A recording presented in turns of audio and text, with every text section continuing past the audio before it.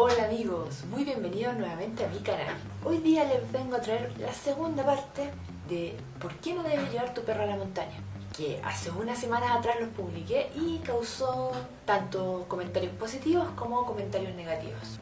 Así que si quieres saber más de por qué no debes llevar tu perro a la montaña, esta vez seré mucho más incisiva y iré directo al hueso para explicarle por qué no deben llevarlo. Así que si quieres saber más sobre este tema, te invito a suscribirte, a darle dedito para arriba este video y a seguirme en mis redes sociales que se las dejo en la descripción. Y ahora vamos a la intro.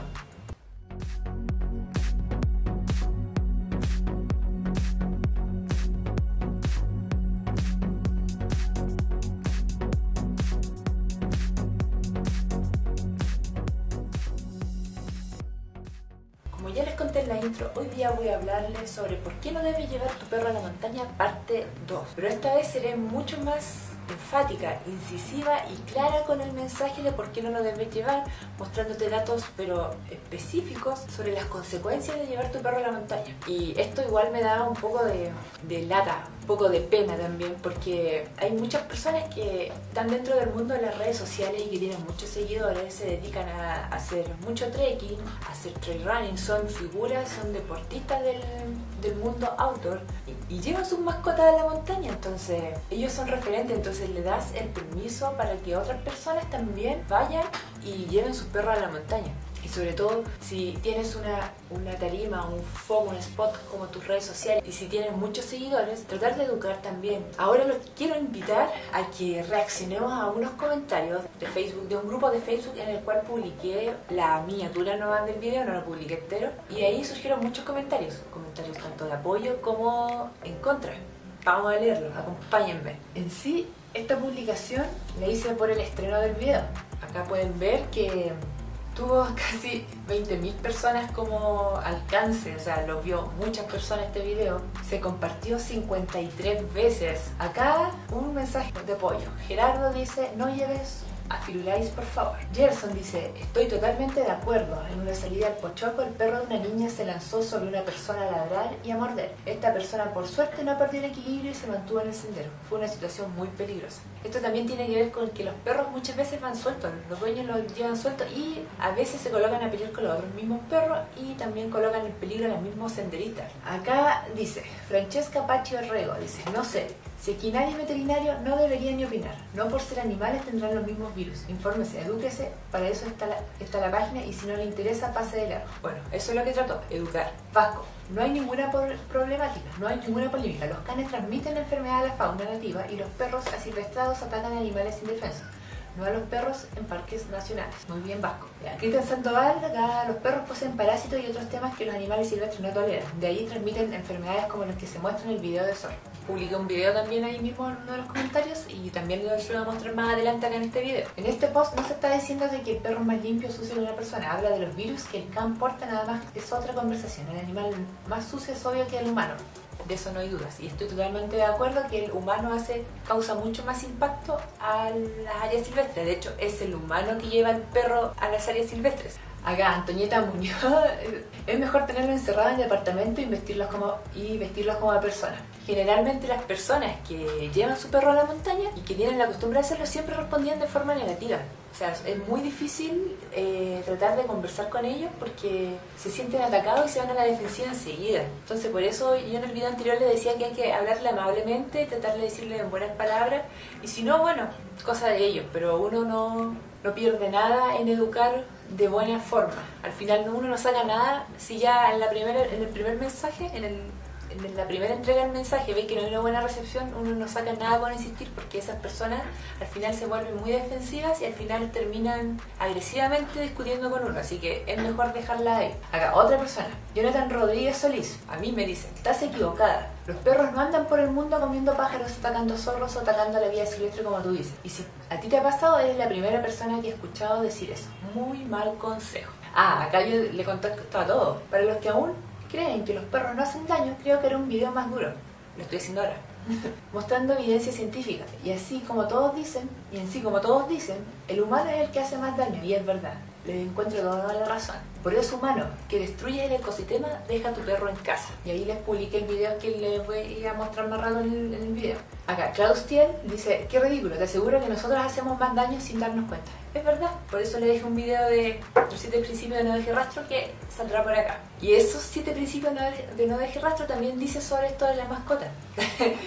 y acá Javier Pérez dice, porque le nombré lo de no deje rastro y dice, ya no saben de qué inventar curso. Eh, amigos, el manual de no deje rastro de sendero chileno, si tú colocas eso, esas mismas palabras que te digo en Google, va a estar el manual ahí en PDF y totalmente gratis. No hay que pagar ningún curso. Si tú te quieres educar, es gratuitamente. La certificación es la que hay que pagarla, que generalmente lo hacen los guías de turismo, los guías de montaña, los guardaparques y las personas que trabajan en esto y están interesadas en capacitarse y contar con esta certificación. Pero para el común de las personas que va a visitar las áreas silvestres, solamente basta que se eduque leyendo gratuitamente el manual que está en internet. Vamos a seguir. Acá Poli dice muy de acuerdo con este tema, tema que tocas, muy buen video. En sí, si ustedes vieron esta publicación, en, parece que era el grupo Feria Montañera, que fue donde más comentarios tuve, porque igual me publiqué esta misma publicación en otros lugares como compañeros de montaña, todos grupos chilenos, en mis grupos que yo manejo de Run Trekking Trail Chile y Run Trekking Trail Latinoamérica, que son los que yo administro, todos con muy buena recepción también en las redes sociales. De hecho, fui republicada por altas organizaciones, equipos de trail, equipos de montaña, etcétera, que me ayudaron a difundir el mensaje. Entonces aquí queda la enseñanza de que educar sobre este tema, de que falta mucho en las áreas silvestres, ya por lo menos en las áreas silvestres que, tienen los accesos restringidos como guardaparques, ya no se permiten el acceso de mascotas, está totalmente prohibido. Pero sin embargo, hay muchos lugares, áreas silvestres donde eso no existe, donde no hay un guardaparque que te, que te diga lo que tienes o no que hacer, como por ejemplo acá en Santiago, los cerros Manquehue, Manquehuito, Carbón, otras áreas silvestres. Entonces es un tema muy complejo. Como es un tema muy complejo y difícil convencer a las personas porque estas personas creen que uno se lo está inventando, cree que uno odia a los perros, odia a las mascotas. O sea, no, yo tengo mi perro, de hecho toda mi vida mi familia ha tenido perros, soy de Chiloé, soy del campo me encanta tener perros acá en Santiago igual tengo mi perro, entonces no es que uno odie a los perros y no quieren que se vayan a entretener a, la montaña, sino es que no es un lugar para ellos. Existen lugares en la ciudad donde pueden entretenerse y jugar con su amo como debe ser. Y la respuesta que más escuché, no, pero solamente basta con que tenga mi perro vacunado y puedo llevarlo lo más bien. Eso no es así. Si tu perro está en la ciudad y está vacunado, está protegido de todas esas enfermedades, del distemper, del parovirus, de la sarna, está protegido, porque las ciudades son una plaga de esas enfermedades. Y por eso es que hay que vacunar a los perros todos los años para que todos los años estén protegidos de enfermedades. Pero sin embargo, como están siempre en contacto con ese tipo de enfermedades, porque su entorno, la ciudad, está plagado de eso y por eso tienen que protegerse, ellos al visitar la zona silvestre donde no existen esos virus, esos bichos, ellos están protegidos, pero llevan eso a la área silvestre y lo dejan ahí. Y por eso yo ahora a esos incrédulos, a esas personas incrédulas, o si ya me crees, si quieres conocer más datos para así poder argumentar a esas personas que todavía llevan su perro a la montaña, vamos a leer Boletín Veterinario Oficial de la Salud Animal e Inocuidad de los Alimentos, División de Protección Pecuaria. Boletín Veterinario Oficial del Gobierno de Chile, Ministerio de Agricultura, el Esto es un estudio de mortalidad de zorros en la cuarta región. Vamos a leer un, unos pequeños extractos nomás dice. Los procesos epidemiológicos de enfermedades infecciosas emergentes o reemergentes en los animales pueden ser originales a partir de procesos antropogénicos, de alteraciones ambientales globales del ecosistema local o bien pueden tener un origen natural. Por otra parte, la interacción entre hospedador y agentes patógenos que invaden nuevos ambientes pueden llevar a la emergencia de enfermedades no persistentes. Esta situación conlleva largos procesos tendientes a lograr equilibrios epidemiológicos que siempre se inician con situaciones de carácter epidémico que manifiestan la enfermedad en el hospedador. La creciente interacción entre especies silvestres y domésticas puede resultar en importantes brotes de enfermedades en la fauna silvestre y viceversa. La emergencia de las de enfermedades infecciosas en fauna silvestre es un proceso continuo y desarrollado que cobra cada día más importancia en los aspectos sanitarios de su, de su conservación, especialmente de las especies amenazadas. Por lo tanto, es importante y necesario el conocimiento de las enfermedades endémicas en la población silvestre. Esto, el área de estudio fue en el Parque Nacional Bosque de Fray Jorge, en dos sectores, Fray Jorge y Talinay y Puerto Velero. No le va a dar la letra leyendo todo, acá está el sector, y esto surge porque se encontraron muchos zorros muertos. Hicieron un estudio, hicieron autopsias a los tejidos para ver por qué habían muerto estos zorritos. Yo esto igual se lo voy a dejar en, el link para que puedan rellenar un formulario y le envío toda esta información para que ustedes puedan contar con esto. Acá dice, zorros chillas muertos en Puerto Valero. No le voy a leer todo, todos los zorritos encontrados muertos. Ahí no hago la suma, pero son más de 10 en el mismo sector, todos en, en esta descomposición, según la zona. Hipótesis. Dice, su hipótesis es el evento tendría características epidémicas en población susceptible asociada a un cuadro infecto contagioso de probable origen viral. Resultados de los análisis histopatológicos y de laboratorio. El examen histopatológico reveló en pulmón neumonitis, en vaso, depiación infocitaria en el riñón, túbulo, nefrosis leve y presencia de cuerpos de inclusión eosinofílicos intracitoplasmáticos en vejiga y pulmón. No se observaron cambios significativos en otros tejidos analizados como cerebro, cerebelo, médula, nervio ciático, tráquea, etc. Acá dice, esto es importante. El examen citológico de frotis conjuntival fue positivo a cuerpos de inclusión de distemper canino, apreciándose células con inclusiones eosinofílicas intracitoplasmáticas. La determinación de anticuerpos contra virus del distemper canino. O sea, estos zorritos murieron por distemper canino. ¿Cómo se contagiaron de distemper canino? Ahí está, tu perro que está vacunado las consecuencias. Acá las medidas que se adoptaron, se adoptó un procedimiento de comunicación de nuevos casos de zorros enfermos a las oficinas del SAC en Ovalle. En caso de encontrarse animales moribundos, estos se enviarán directamente a través del SAC al laboratorio de los Aguirre para su estudio. Se sugirió extremar los resguardos en el Parque Nacional respecto del ingreso de perros. CONAF continuará con un programa especial de avistamiento de zorros en primavera y en verano. Dice, tanto los antecedentes epidemiológicos como los resultados de los análisis serológicos e histopatológicos muestran que el evento correspondió a un brote de distemper canino de características epidémicas en las poblaciones de zorros Entonces, esto no hay que tomárselo a la ligera, ya, ya lo leyeron. Y esto solamente fue en un parque nacional que está resguardado por guardaparque con acceso restringido. Entonces, ¿Qué nos queda para las áreas silvestres donde tenemos una protección de un organismo nacional? Hay que educar. Esa es la conclusión, hay que educar. Ahora las imágenes que les voy a mostrar son un poco fuertes y me las proporcionó Camilo Allendez. Los invito a seguirlo, allendez.camilo en Instagram. Él es instructor de canyoning, tiene certificaciones internacionales, es fundador de AUCA Expediciones y Pucón Canyoning y es monitor NDR, No Deje Rastro y WAFA. Acá les voy a compartir este, una, una campaña que está realizando el Camilo, que indica que no, no más perros en la montaña.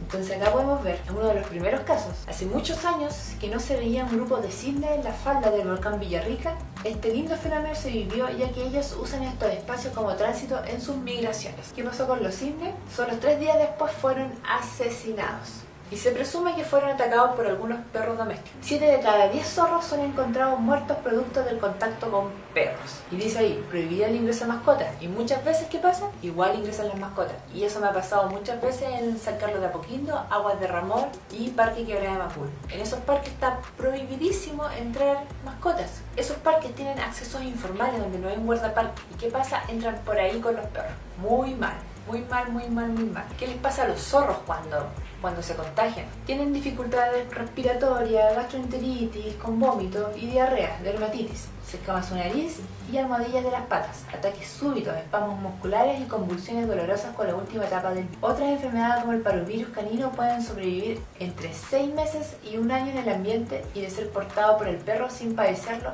ellos están vacunados pueden estar en el ambiente, en el área silvestre, el virus que dejaron a los perros ahí hasta 6 meses. Es muchísimo. Y acá si no lo crees, miremos el video.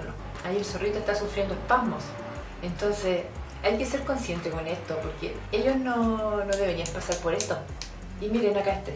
O sea, si no logramos hacer conciencia con esto, que muchas veces yo creo que las personas eh, quieren hacer oídos sordos y seguir, seguir llevando su, su, mascota o ante cualquier otro problema que tengamos en el mundo ambiental, hacer oídos sordos y, y, decir, bueno, esto no me afecta a mí, no me importa. Es como lo que pasa con, con, con la industria, no sé, ganadera, que consume miles y miles de litros de agua. O sea, son la industria que consume más agua. ¿Y para qué? Para que tú te puedas comer una hamburguesa en la casa hay que tratar de abrirle los ojos con estas cosas y es como cuando, cuando te conviertes en vegano y empiezas por ver videos de la industria, cómo maltratan a los animales y tú dices ya, me voy a volver vegano. Es una cosa así, esto hay que abrirle los ojos a estas personas. Y acá ya, esta última foto, Sandy y Niña los devoran desde afuera hacia adentro. ¿Qué esperamos? Nosotros somos los únicos que podemos hacer algo por ellos. Bueno amigos y amigas, eso era lo que quería contar, hacer esta parte 2, mostrando imágenes más duras sobre las causas de lo que provocan los perros en sí en las áreas silvestres. No solamente en la montaña, sino que también en los lagos, ríos. Hay que ser consciente de esta problemática que está pasando ahora. Y nada, espero que compartan este video, que les haya llegado, que los compartan entre sus contactos para que se sensibilicen, que si conocen a alguien que lleva a su perro a la montaña, compártanle el video. Este último también, como el primero. Entonces hay que ser consciente sobre toda esta problemática y si tú no tienes perro, si no vas a la montaña, aporta compartiendo el video para que otro lo conozca. Está el primer video de la parte 1 en la descripción, también en las tarjetas para que lo vean y lo pasen a todos sus amigos y conocidos y lo compartan en sus grupos de WhatsApp de trekking, de montaña, de trail, etc.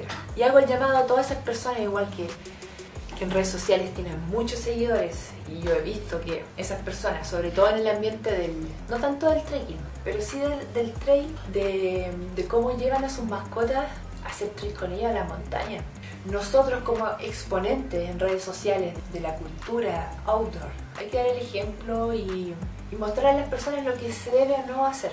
Así que yo hago el llamado a todas esas personas igual que llevan su perro a la montaña y que tienen el foco de redes sociales con muchos seguidores, que me apoyen en este mensaje y apoyen al Camilo también en esta campaña de no más perros en la montaña. Así que amigos y amigas, espero que les haya gustado este video, que si recién me conocieron por este video, les, los invito a apoyarme con su suscripción para así seguir creándoles contenido de calidad.